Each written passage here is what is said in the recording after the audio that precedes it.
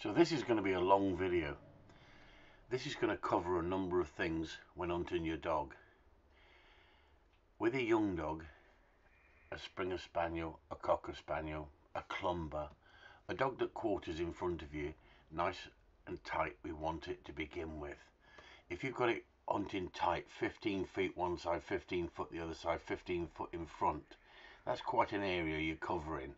And you might think, oh, hang on, I could kick stuff up in this area. But trust me, that dog will open up to double that once it gets on game and you've trained it. And I think what people were thinking last night on the live feed was 15 foot. 15 foot that way and 15 foot that way and 15 foot out in front. That's not really hunting. But if you've got a game finder, you have to school it and show it where you want it to hunt. And then when it comes across scent, it will take the line and pull out onto it but it's got to be within gunshot. And that's the most important thing. If you're a shooting man and you know that if a bird gets up 40 yards in front of you, by the time you've raised your gun, it's 50, 60 yards. Then you're going to wingtip it. You're going to just you're just going to clip it. You're going to damage it, but you're not going to kill it. You're looking for a clean kill. Now, some good guns can kill stuff at long ranges, and the more you get used to training and the more you get used to shooting over dogs, you can allow that bird to go on a little bit further to give the dog a better retrieve, a longer retrieve. But Chris is giving you a fine example here of where the dog should be at this age before you go on a shoot. Your dog should be around you and not hunting 40 yards through the woods. Now, when Sol was going on about last night about um, he could kick birds out, he's not working spaniels. He's not working. He's working GSPs. Now GSPs are a different thing to, altogether. And then someone else came on and was asking about pointing. You don't want these dogs to point on game. You want them to hunt the nose down, going nice and pacey like this little bitch here. And then when they come across game, they go up a gear. They you can read them. They go up a gear and they, they open up a little bit.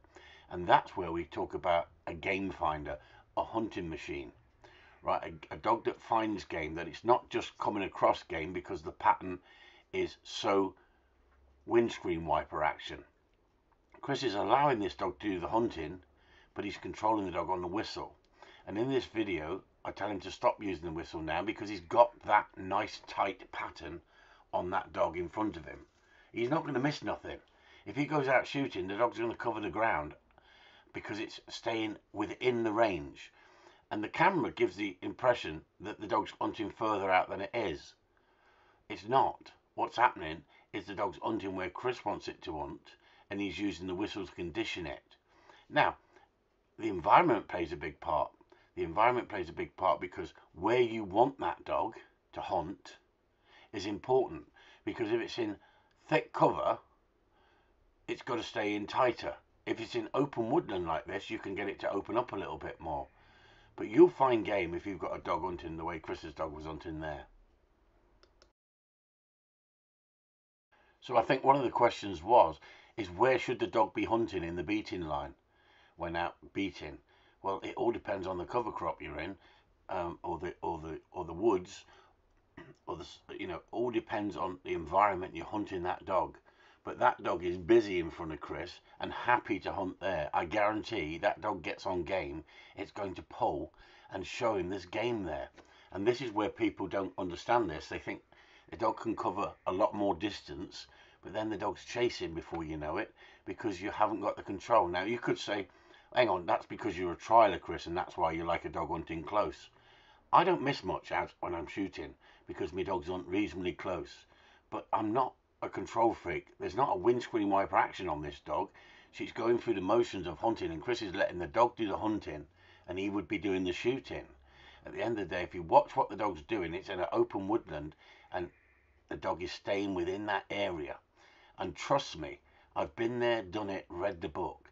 If your dog is hunting like this, when it gets on game, it'll open up to nearly double this when it finds game and that's where you want it to produce game within that area. So if you produce game there where, where the dog was right next to Chris, he'd have to let it go before shooting it. But guess what? If it finds close in, it'll stay close in. So you condition it that way on purpose.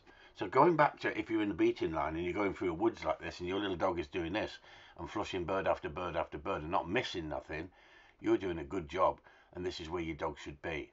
So, you know, when I say 15 feet, well, it could be 20 feet either side of you. It depends on the dog. If it's a racy, driven dog, you might want to keep it in tight in certain situations. So the whistle is the tool that you use. And if you condition the dog to turn on the whistle, that's exactly what you get when you go out in the field with the dog in on the real stuff.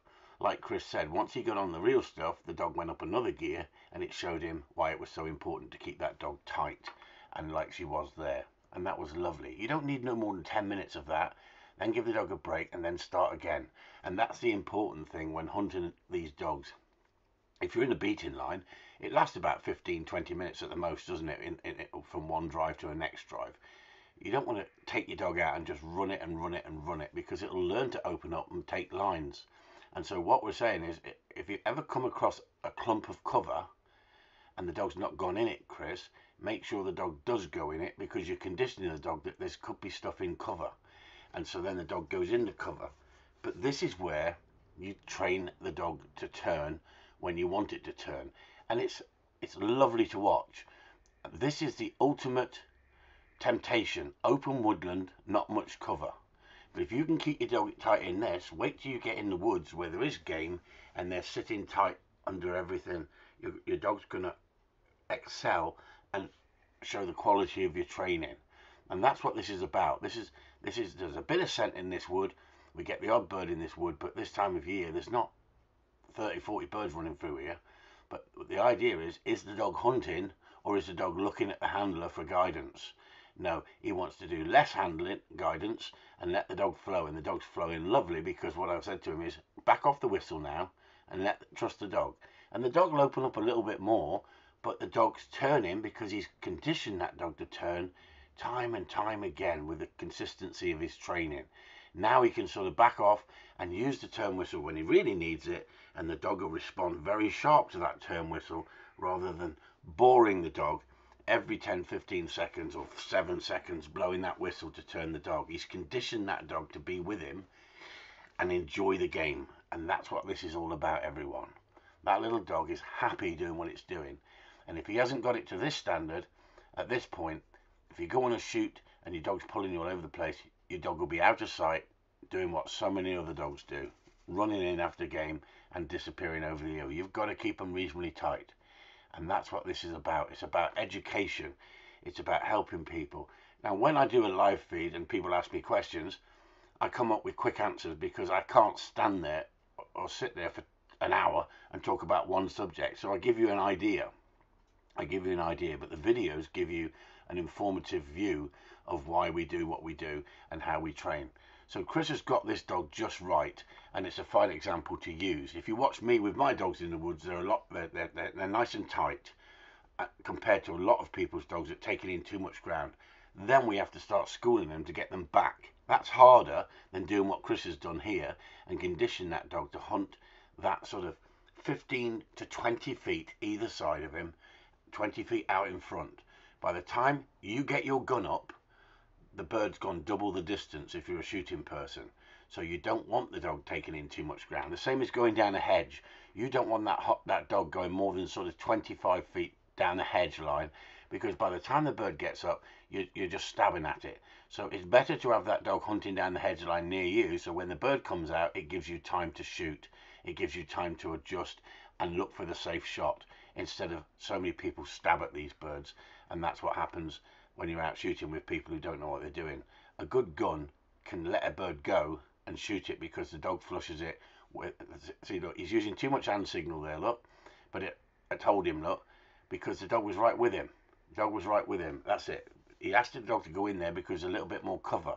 So what happens is a stick pile there. We want that dog to go into that stick pile because that's where birds will sit.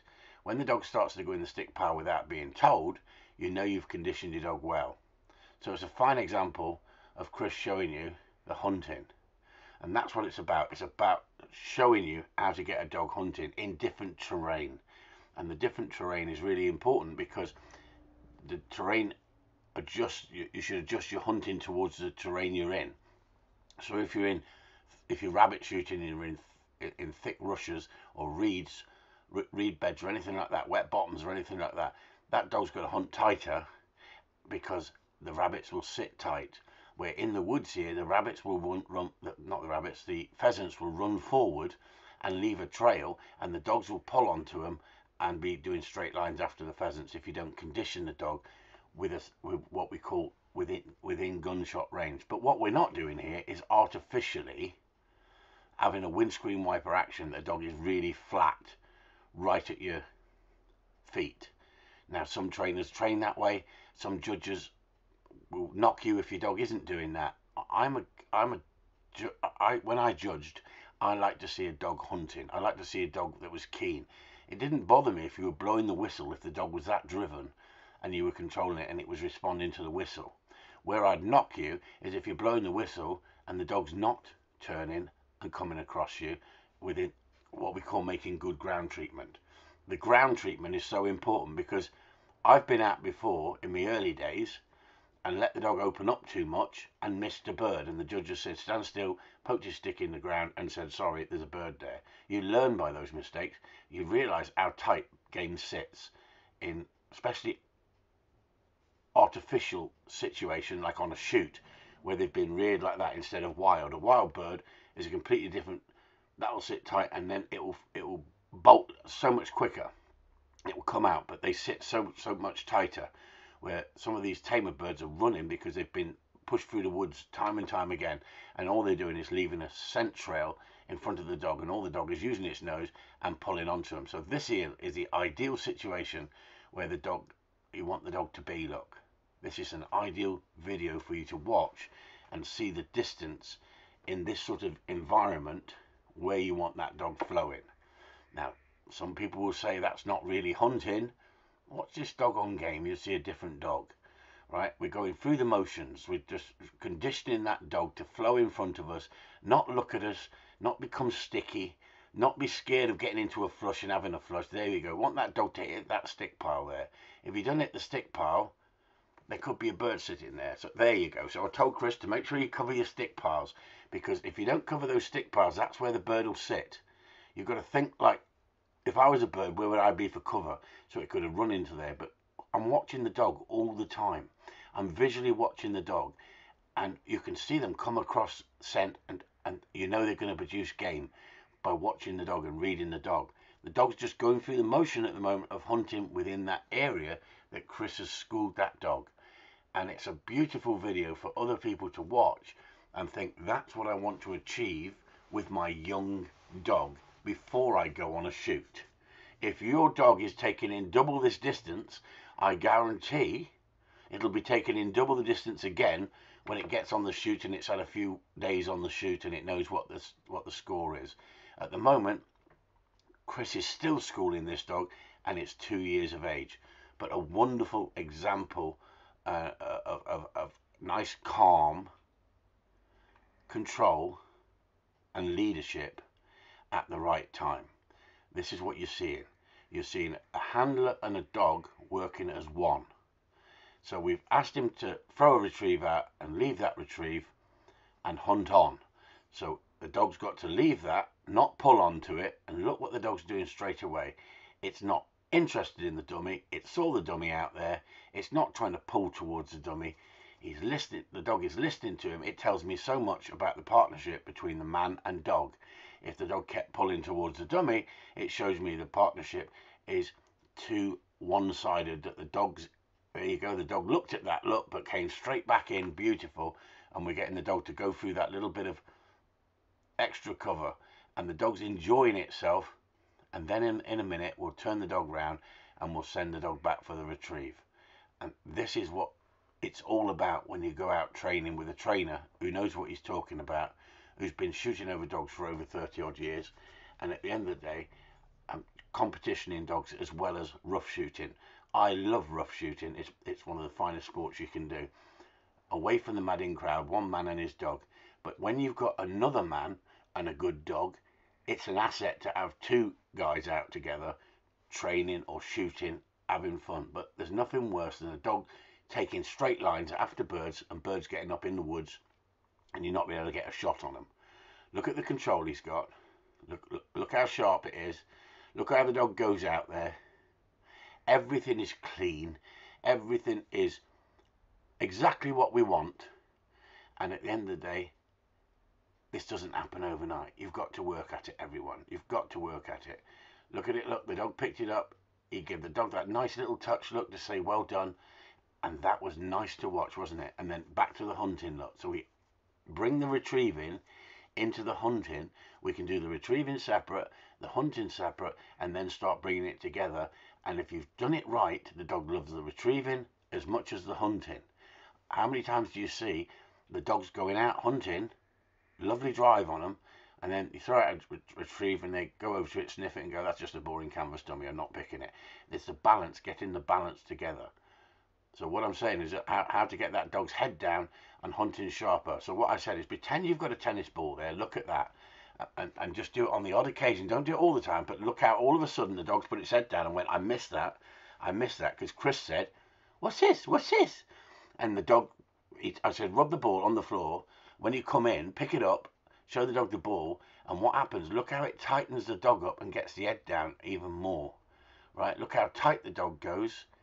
With the head action, it's like it's, it's so much tighter look and better. Now you don't want a dog tight all the time, but look at the dog now. It's saying, ah, there could be something else here. There could be something else here. I'm gonna I'm gonna search this even more thorough. It's making that dog work harder for the find. And that's what he's doing. The dog is hunting to try and have a find, right? Whether and, and Chris hasn't had the dog on many birds, but look, look at this. It's lovely, isn't it, to watch? This is this is exactly when you watch the trial people on the videos on on the Paul French videos and stuff like this. This is where the cockers are hunting. Cockers will hunt tight. They're little dogs, but they've got that extra zest in them that, that really makes them look something special when you get them right and they and they're hunting nicely like this little cocker. This cocker's not going like a maniac, but it's covering the ground. It doesn't want to miss nothing. Look at that. That's beautiful because we're concentrating on just putting the polish on the dog with the tuition that I'm giving Chris. That's that extra little bit of tuition that he perhaps hasn't had because he's been training on the videos. Look at. Look, he asked the dog to, to sit. Look. Look, he threatened the dog just slightly. That's all he needed to do. That was absolutely lovely. Well done, Chris. So as we're driving down the road, we saw a cockbird run into here. So we put the dog and Chris straight onto that scent and let the dog take the line. Then we asked Chris to get the dog back and she didn't come back straight away. So I said, get after her and just threaten her at the movement. And I said, put the dog on the long line, on, not on the long line, on the lead and give a leash tug and say, come here. Because the dog went after the bird, the bird, bird flushed, no problem. But then as soon as that happened, the dog should have come back to Chris. So in a game environment, that's when you put the dog under more pressure and show and, and, and the dog can take it because you've gone through the motion of the training and now you're putting the dog on the real stuff. And so that's what happens in the same situation here some days there's two or three four birds in here and we're pushing this back for the keeper. And at the end of the day sometimes it's fantastic. When it gets a little bit thinner it's easier. But Chris is now going to work the dog in this little bit of bracken and this dog's going to stay within gunshot but learn how to flow in here. It's not easy to begin with for youngsters but the dog's enjoying it and there's very little whistle with Chris and the dog's flowing in front of you. You can see the cover move. Half the time when you're in this sort of cover, this thick, uh, this high up for a little dog, you just have to rely on watching the cover move in front of you. It's important the dog doesn't go screaming on taking straight lines down here.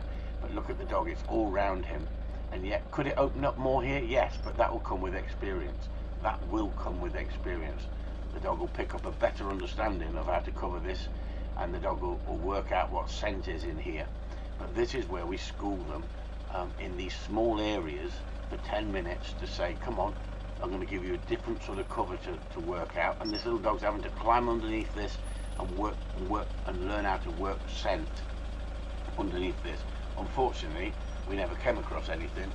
Some days you go down here, some mornings, and like I say, there's five or six birds here, and we're pushing them back onto the estate for the keeper. So that's what they allow us to do, and that's how we can get onto some game. Um, but this time of year, and I think they've put the birds out later this year, um, because they're nowhere near the birds that there has been years gone by. but it's still a good training area because there will be scent and as you can see the dog is enjoying itself Right, and that's what it's about everyone down.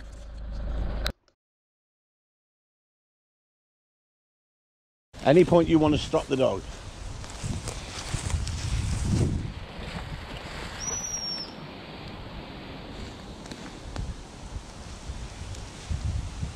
send the dog Get. Stop the dog. Lovely. Good. Push the dog back for it. Come. So everything about that last clip was beautiful. Dog's hunting, blew the stop whistle nice and gently, quietly, and the dog stopped. Looked instantly at Chris. Chris threw the retrieve. When I said send the dog, he sent the dog in a nice calm manner and the dog raced out there. When I asked him to blow the stop whistle, the dog stopped, spun round, looked at him, and then he pushed the dog back when I told him. Perfection comes with consistency, repetition, and the dog enjoying what it's doing. That's what these videos are about, everybody. Well done, Chris. Fine, example of how to train a dog.